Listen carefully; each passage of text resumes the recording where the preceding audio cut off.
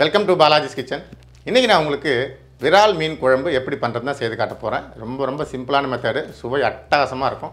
முதல்ல நம்ம போயிட்டு மீன் வாங்கிட்டு வந்துடலாம்.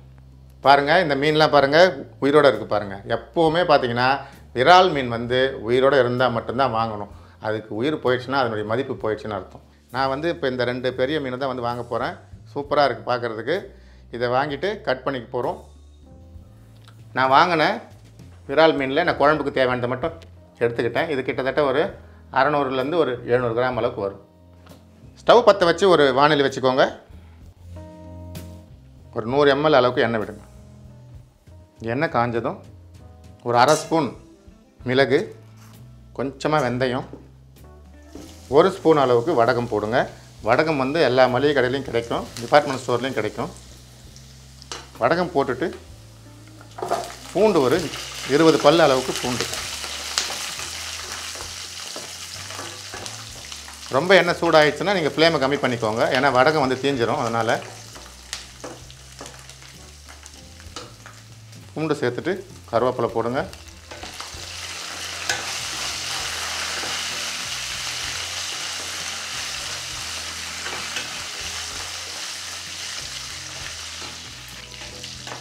பூண்டு நல்லா வதங்கிடுச்சு. இப்போ சின்ன வெங்காயம் சேர்க்குறேன்.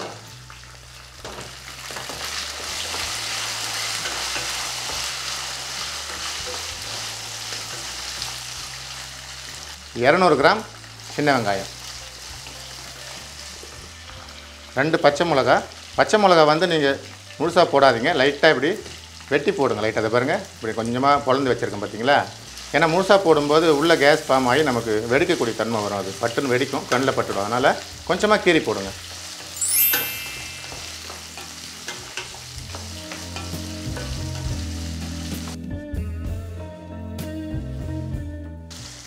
வெங்காயம் பாருங்கள் வதங்கிடுச்சு. ஒரு மூணு நிமிஷம் இதை நீங்கள் வதக்கி விட்டிங்கன்னா போதும்.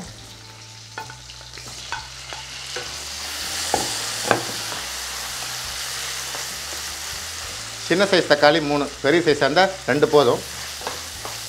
போட்டு இதை ஒரு ரெண்டு நிமிஷம். அப்படியே ஒரு முக்கால் ஃப்ளேம் வச்சுக்கோங்க. ஹை ஃப்ளேம்லாம் வேண்டாம். நீங்கள் ஹை ஃப்ளேம் வச்சிங்கன்னா அந்த வடகம் தீஞ்சிரும். அதனால் ஒரு முக்கால் ஃப்ளேம்லேயே அப்படியே வதக்குங்க. வதங்கட்டும். தக்காளி நல்லா ஒரு ரெண்டு நிமிஷம். பாருங்கள் தக்காளி நல்லா வதங்கிடுச்சு. இப்போ ஃப்ளேமை ஃபுல்லாக கம்மி பண்ணிடுங்க. ஃப்ளேம் ஃபுல்லாக கம்மி பண்ணிவிட்டு கொஞ்சம் மஞ்சள் தூள் காஞ்ச மிளகாய் தூள். ஒன்றரை ஸ்பூன் போட்டுக்கோங்க. இது மல்லித்தூள். மூணு ஸ்பூன் மல்லித்தூள் போட்டுக்கோங்க. இது குழம்பு மிளகாய் தூள். ரெண்டு ஸ்பூன் குழம்பு மிளகாய் தூள். எல்லாத்தையும் அந்த லோ ஃப்ளேமில் அப்படியே கிளறி விடுங்க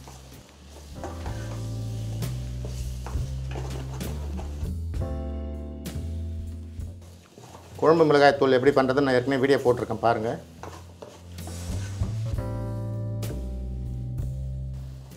இப்போ நம்ம புளி தண்ணி சேர்க்குறோம். இப்போ ஃப்ளேம் வந்து ஹையில் வச்சுக்கோங்க.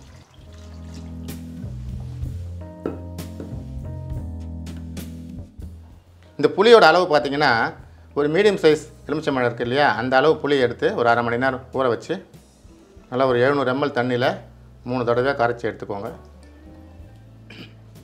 புளி தண்ணி சேர்த்த பிறகு நல்லா அப்படி கலக்கி விடுங்க. இப்போ இன்னும் கொஞ்சம் தண்ணி வைக்கிறோம் குழம்புக்கு புளித்தண்ணி ஒரு எழுநூறு எம்எல் அதுக்கப்புறம் ஒரு எழுநூறு எம்எல் தண்ணி வச்சுக்கோங்க. ஏன்னா இது கொதிக்க கொதிக்க என்னுடைய அளவு வந்து குறைஞ்சிக்கிட்டே வரும். கிட்டத்தட்ட ஒன்றரை லிட்டரு தண்ணியோட அளவுன்னு பார்த்தீங்கன்னா மொத்தமாக புளி தண்ணி சேர்த்துட்டு. இப்போ நாம் இந்த குழம்புக்கு உப்பு சேர்க்க போகிறோம் வீடியோவை கட் பண்ணாமல் பாருங்கள் அப்போ தான் எந்த டைமில் என்னென்ன ஐட்டங்கள் சேர்க்குறேன்னு உங்களுக்கு தெரிய வரும். உப்பு சேர்த்துட்டு நல்லா கலக்கி விடுங்க. உப்பு சேர்த்துட்டு நல்லா கலக்கி விட்டாச்சு. இது கொதி வரட்டும். அது வரைக்கும் வெயிட் பண்ணுவோம். கொதி வர்ற வரைக்கும் மூடி வச்சுருங்க. பாருங்கள் கொதி வருது. கொதி வந்த பிறகு கொஞ்சம் கிளறி விடுங்க. இது பதினஞ்சு நிமிஷம் கண்டினியூவாக கொதிக்கணும் ஹை ஃப்ளேமில் சின்ன பன்னராக இருந்தால் ஹை ஃப்ளேம் வச்சுக்கோங்க. பெரிய பன்னராக இருந்தால் லைட்டாக ஃப்ளேமை குறைச்சிக்கோங்க. ஒரு முக்கால் ஃப்ளேம் அளவுக்கு வச்சுக்கோங்க. பதினஞ்சு நிமிஷம் கண்டினியூவாக கொதிக்கணும். ரெண்டு நிமிஷத்துக்கு ஒரு தடவை இப்படி கிளறி விடுங்க. இது கொதிக்கட்டும். பாருங்கள் பதினஞ்சு நிமிஷம் நல்லா வந்து கொதிச்சிடுச்சு. அந்த எண்ணெய்லாம் அப்படியே திரண்டு வந்திருக்கு பாருங்கள் ஓர கையில் பாருங்கள் அப்படியே அந்த ஓரமாக எண்ணெய் திரண்டு வந்திருக்கு. அளவு வந்து நமக்கு இப்போ குறைஞ்சிருக்கு பாருங்கள் இப்போ நம்ம க்ளீன் பண்ணி வச்சுருக்கிற இந்த மீனை சேர்க்குறோம்.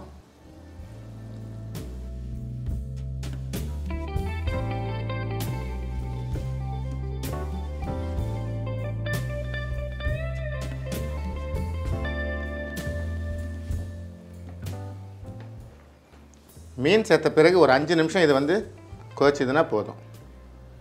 ஒரு அஞ்சு நிமிஷம் மட்டும் கொதிக்கணும். அதாவது கொதி வந்த பிறகு. பாருங்கள் மீன் போட்ட பிறகு வந்து கொதி வருது. ஒரு அஞ்சு நிமிஷம் வந்து கொதிக்கட்டும். எதுவும் கிளற வேணாம் அப்படியே இருக்கட்டும். ஒரு அஞ்சு நிமிஷம் அப்படியே வந்து கொதிக்கட்டும்.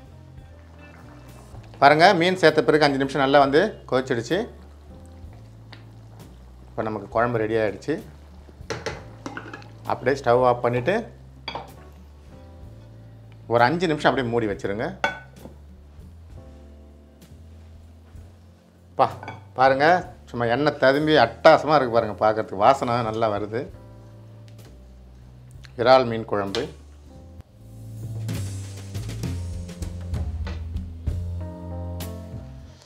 Super super. உடனே சாப்பிடணும் போல இருக்குது